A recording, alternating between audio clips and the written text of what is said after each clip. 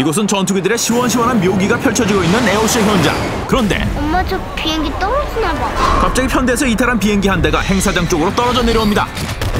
그리고 위험천만한 고개 비행이 이어지는데요. 이 못 말리는 조종사의 이름은 태훈. 천부적인 재능을 지녔지만 넘치는 호기심 탓에 늘 소동을 몰고 다니는 인물이었죠. 너 그따위 짓 다시 하지 말라고 했지?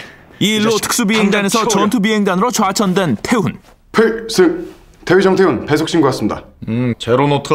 그 에어쇼에서 깽판 친 친구. 그런 그를 주시하는 이가 있었으니 바로 전설의 탑건으로 불리는 편대장 철이였죠.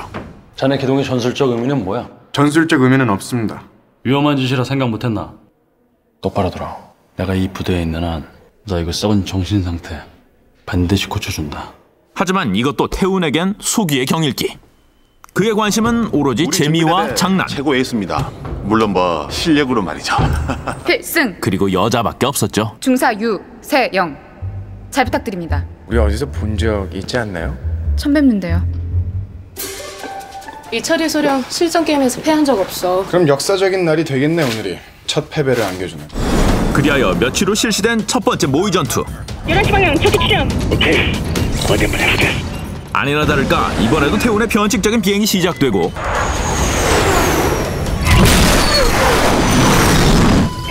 하지만 노련한 철이의 손바닥 위에서 그는 생애 처음 패배의 쓴맛을 보고 맙니다. 이번 상황이 실전이었다면 넌 이미 이 자리에 없다는 거. 승부욕 제대로 자극받은 태훈. 한 번만 도와줘. 다음 날부터 정비관 세영의 도움으로 전에 없이 철저한 연구에 매진합니다. 그러던 어느 날 적기 일기가 군사 분계선을 넘었습니다. 귀순을 요청하는 북한의 전투기 한 대가 휴전선을 넘어 남하에 오고 태훈도 이를 인도하는 임무를 맡게 되는데요. 바로 그때 적기 일기 추가 출연. 이들 뒤로 또 한 대의 적기가 추격해 오더니 격추 명령 바란다. 격추하라. 생각지도 못한 도발로 귀순 전투기는 현장에서 격추되고 맙니다. 라콘 미사일 발사하겠다. 미사일은 안 돼. 그 지역은 민간 지역이다. 함부로 손을 쓸 수조차 없는 초유의 테러 상황. 여기서 이 영화의 카운트다운이 시작됩니다. 반가운 얼굴 정지훈에서 신세경 그리고 유준상까지 초호화 스타 군단이 막바지 여름 극장가를 공습합니다.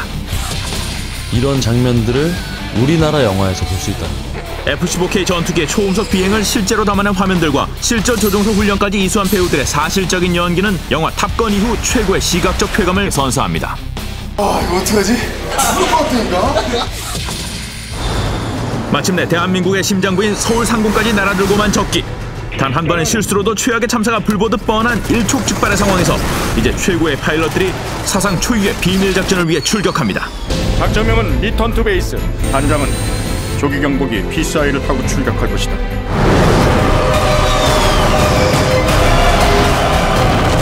도심 한가운데서 펼쳐지는 극한의 공중 액션. 영화 R2B 리턴 투 베이스였습니다.